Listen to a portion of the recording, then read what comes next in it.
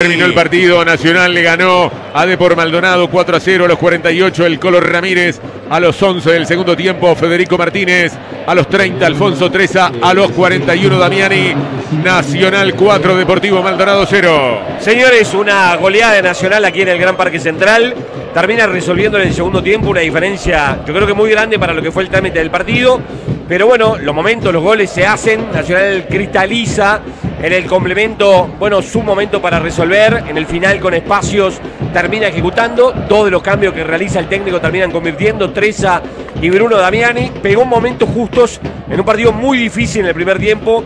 Con un arbitraje que tuvo errores importantes también en la primera etapa. Con el partido 0 a 0. Debió pulsar a Darias, cobrar un penal a favor del Deportivo Maldonado.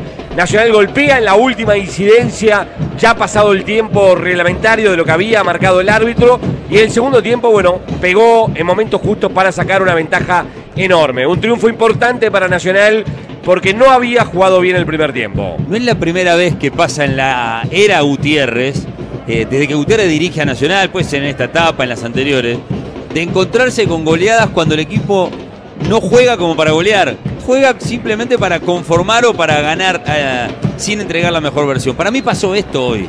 Es increíble que en la mitad de un partido, en los 45 minutos iniciales, Nacional fue superado, pero igual termina ganando 4 a 0. Hay que buscar muchos elementos para poder describir una situación como la que acaba de ocurrir donde Nacional se va con su gente contenta, la misma gente que hace una hora, una hora y cuarto estaba preocupada porque iban 25 o 30 minutos del primer tiempo y a este equipo no le salía nada. Andrés pone los títulos al final de la jornada, vamos. Bueno, para repasar cómo queda Nacional en el torneo intermedio, a dos de Liverpool, que es su próximo rival, Liverpool líder con 6 en la Serie B, Nacional llega a cuatro unidades y se enfrentan la próxima fecha. Atención en la anual, Peñarol 34, se puso a uno Nacional que tiene 33. 26 para Defensor Liverpool y Cerro Largo. La fecha, la número 2 del torneo intermedio, se completa mañana a las 10. Racing Plaza 15.30. Peñarol River a las 18. Va Defensor ante el Montevideo Wanderers. Para opinar hay que ver todo el fútbol. Ahora. Comentan Martín Charquero y Federico Buizán. Y a pesar de un mal primer tiempo. que pateó al arco con una potencia. El comentario que espera la gente. Buizán y Charqueros. Ganó Nacional, goleó Nacional, lo hizo 4 a 0. No es la primera vez que pasa desde que Gutiérrez es en el entrenador de Nacional, que un equipo que no juega acorde a la goleada se va entregando esta versión de tranquilidad. Hoy Nacional terminó el partido tranquilo, calmo, justo el mismo equipo que ha levantado partidos o que ha ganado puntos en los tramos finales. ¿Cómo llegamos a esta explicación de cómo le decimos a los oyentes de por qué Nacional, que había jugado mal el primer tiempo, goleó 4 a 0? Bueno, no es algo que, digamos que no es algo que pase todos los fines de semana, que un equipo juegue mal en un primer tiempo, pero igual pueda después ganarlo. Lo más extraño es un equipo que jugó mal en el primer tiempo y en el segundo tiempo jugó casi que aplica un término futbolero de a media máquina. No dio nunca la versión en el complemento de ser un equipo que lo agobió a Deportivo Maldonado o que se desvivió por atacar. Todo lo contrario. Empezó a enfriar el partido de a poco, le terminó sacando algunas situaciones a, Deportivo Maldonado ya, cuando digo situaciones, sacarle las ideas a Deportivo Maldonado en la mitad de la cancha y sin arriesgar mucho empezó a encontrar goles. Tres goles en el complemento, Federico Martínez, fue quien puso el segundo, el tercero Alfonso Treza y el cuarto Bruno Damiani. Los cuatro goles lo hicieron cuatro jugadores distintos, aparte del primero, el más valioso de todos, lo hizo el goleador del campeonato uruguayo, que sigue siendo Juan Ignacio Ramírez, demostrando que también él vive su racha. Después me quiero referir a la racha de Damiani, de Bruno Damiani. Hoy empezó a demostrar que está viviendo su racha, por cómo encontró el gol, además. Pero los tricolores hoy le ganan a este equipo fernandino. En el primer tiempo, Primero lo que hubo fue un dominio del rival. O sea, el equipo visitante acá vino a jugar teniendo claro su plan. Yo, la verdad, confieso, no encontré el plan de Nacional, no lo vi en los primeros 30 minutos, que era un equipo que chocaba contra una línea de 5, no tenía cómo combatirla, buscaba Gutiérrez haciendo algún gesto a Polenta que cruzara la pelota en largo, que fuera desde la izquierda a la derecha, a ver si aparecía la precisión para que pudiera recibir en posición de puntero derecho un jugador como Pereiro o Lozano. No le salió nunca Nacional. No creo que a Nacional lo hayan sorprendido poniéndole una línea de 5, porque creo que Nacional debe, en el, en el scouting que hizo el partido debe haber visto que este equipo maneja también esa alternativa a veces para defender. Achicaba incluso Deportivo Maldonado, cosa que me llamó la atención, le achicó el espacio de generación a jugadores como Zavala, Pereiro y a Nacional lo complicó. Lo hizo parecer un equipo que no tenía idea qué hacer para generar alguna situación de peligro. Las mejores las tuvo Deportivo Maldonado hasta que apareció una chance, ya con el tiempo excedido, digamos, el partido había tenido por parte del árbitro la, determinación de dos minutos extra, o sea, se iba a ir hasta los 47, a los 47-20, 47-25, o sea, un tiro de esquina de Nacional y un gol eh, que, anota Juan Ignacio Ramírez. Zamulléndose, una pelota que no sé si se iba afuera, capaz que todavía iba adentro, pero él la termina de reconfirmar y dirigirla contra la red. Ese es el resumen de cómo Nacional ganó el primer tiempo. Puntería. Mientras que el otro lado tuvo la mala puntería. Factores que harán que este primer tiempo lo recordemos. Bueno, el primero, el arbitraje. Dirigió mal Zacarelo. Pero créanme que estuvo peor asesorado por el VAR que, que, él mismo, que ya de por sí siempre cree. A ver, hay algo que dice el reglamento. La última decisión la toma el árbitro, claro. Siempre y cuando no aparezca alguien del VAR y lo quiera salvar de un error. Hoy hay dos hechos por los cuales yo critico el arbitraje. El primero, partido 0 a 0. Darias tenía una amarilla, la pelota se le va larga, control ya cantado de Polenta, la pierna derecha de Darias sigue y pisa cerca de la altura del tobillo a Polenta. Los árbitros siempre dicen que para sacar una segunda amarilla hay que estar no solamente convencido, sino que aparte tiene que ser una, una jugada indiscutible. Para mí esta aplica como eso. Hubiera sido seguro si no tenía Darias una primera amarilla, pero una segunda tarjeta también lo era. Y acá el árbitro la vio como falta, o sea, no, no estamos ante una situación que el árbitro no vio, lo que no le dio la dimensión que merecía ese tipo de infracción, repito, suela pisando el tobillo. El asistente Berizo, buena ubicación. Desconozco si intervino para decirle al árbitro que era para amonestación o no. La decisión final ahí en el campo del árbitro.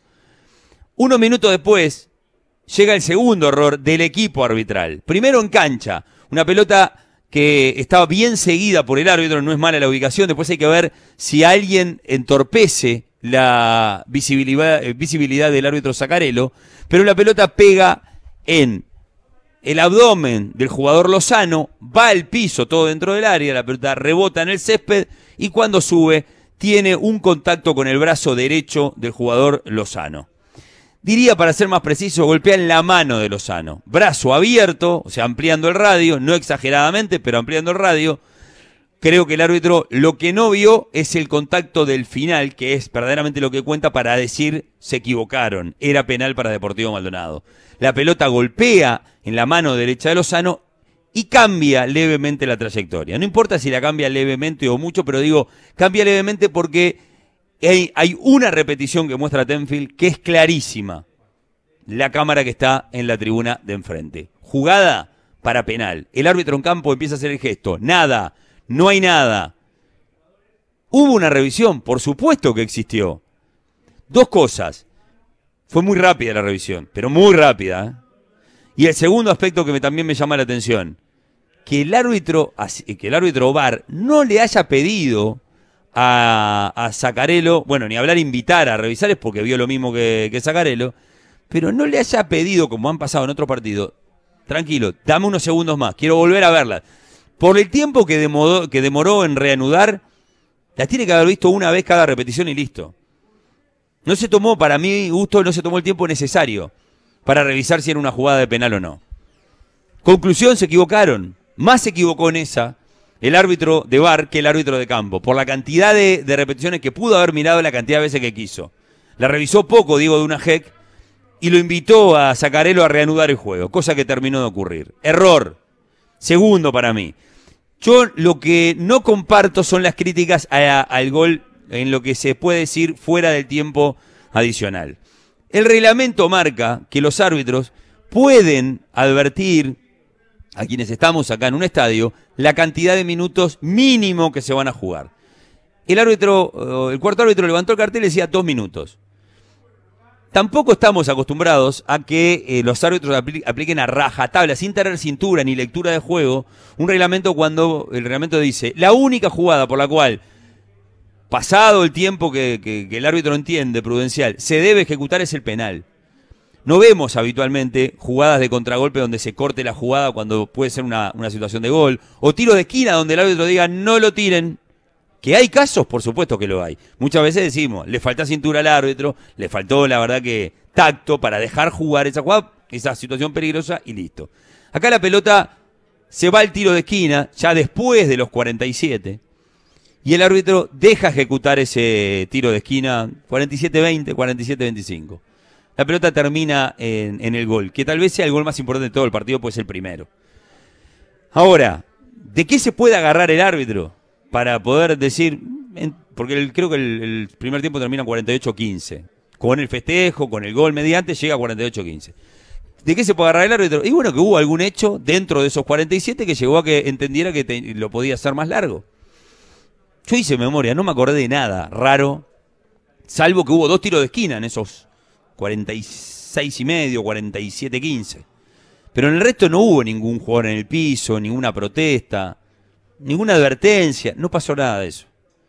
Nos vamos a enterar en algún momento, solamente si habla Zacarelo. Acá no hay, acá el, el bar no se va a poner eh, para que la gente escuche lo que charlaron, porque acá ni siquiera es un diálogo con el bar. Y digo algo, en la jugada del penal no sancionado a favor de Deportivo Maldonado, si mantienen el mismo criterio, tampoco vamos a escuchar el VAR, porque no se revió la, decisión de campo.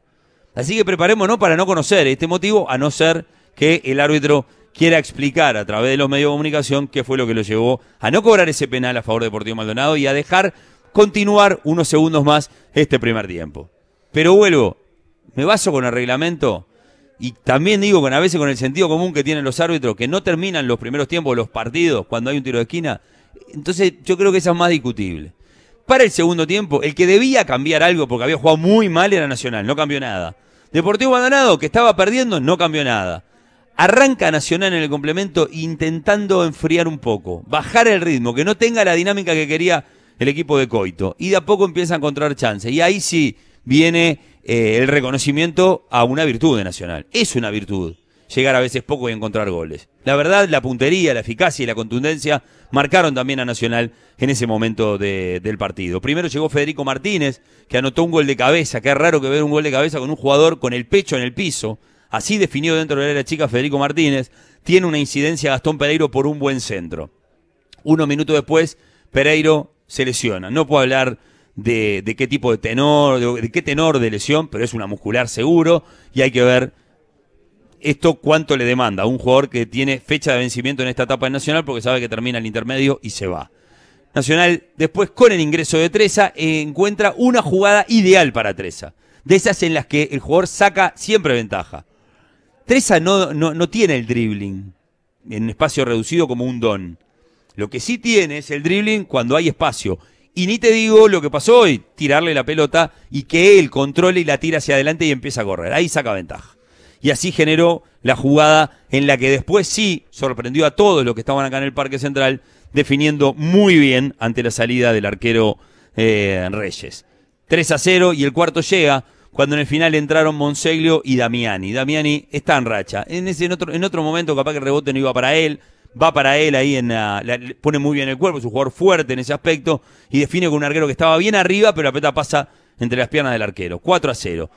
No sé si es justo o no justo. Yo creo que no es justo en relación a todo lo que Deportivo Maldonado mostró en el primer tiempo. Tampoco sé eh, si Deportivo Maldonado no quedó tan afectado por cómo recibe el, el 1 a 0 que lo hizo perder concentración. Yo creo que a la larga eh, hoy na- Nacional lo golpeó en un momento. Es, es de los mejores ejemplos de decir cómo un gol a veces puede noquear a un rival. El primer gol lo noqueó a Deportivo Maldonado, que tuvo 15 minutos de entretiempo para mejorar, cambio para poder potenciarse y no pasó nada de eso. Ni volvió mejor el equipo de Coito para el complemento, ni los cambios le resultaron al entrenador que pasó por las selecciones juveniles de nuestro país. Tiene una virtud nacional dentro de las críticas que se le puede hacer a que no tenía plan claro de, cómo atacar en el primer tiempo la línea de 5, de que las individualidades en la primera parte estuvieron varias desconocidas. Increíble que se repita otro primer tiempo tan malo de Jonathan Rodríguez como el que jugó en Jardín del Hipódromo frente a Cerro. Pero tiene una virtud, que es un equipo que parece como que se está durmiendo en el partido y de repente está más despierto que el rival. Parece como que se hace el dormido, pero cuando tiene la chance, hace el gol. Hoy no jugó bien, pero fue contundente. Cuando Deportivo pestañó, Nacional le hizo un gol. Y cuando quiso adelantarse Deportivo en el segundo tiempo, Nacional demostró que podía contragolpearlo, por ejemplo, en el gol de Treza. Es como, es, un equipo que no quiere mostrar, es como que no quiere mostrar sus grandes virtudes. Y muchas veces muestra esa sensación de equipo quedado. Pero tiene una ocasión y la encuentra. Yo no sé si va a ganar muchos partidos jugando el primer tiempo como lo jugó hoy. Pero me quedo con lo de hoy, que es lo más objetivo que hay. Jugó mal, pero ganó bien. Y en el complemento, además, tampoco dio la sensación de ser un equipo con tantas luces ofensivas. Hubo grandes aportes. El primero que quiero destacar es a un jugador que no viene acostumbrado a ser titular y hoy lo fue y no cometió errores. Salvo una que quiso tocar con el pie, pero yo creo que a la larga es un jugador de tan buen pie que se le puede permitir que arriesgue de esa manera. Salvador Hichazo. Con el pie es mejor que Rochet. Lo que pasa que Rochet es mucho más completo en otros rubros vitales para un arquero.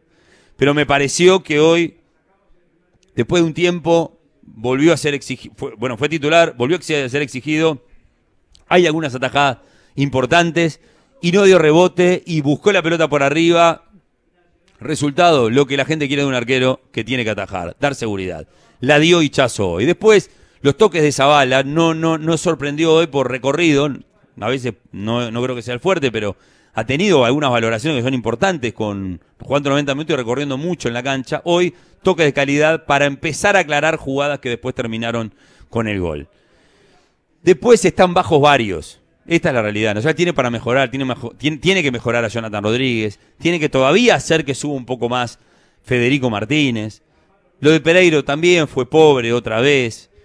Pero claro, Nacional. ganando de esta manera, el equipo puede darle a la gente la ilusión, aparte sabiendo que ahora tiene mañana domingo la posibilidad de a ver si Peñarol le recupera la diferencia o si todavía queda más cerca en la anual tras esta goleada que se generó originalmente en el primer tiempo, pero que termina a ser goleada en el segundo.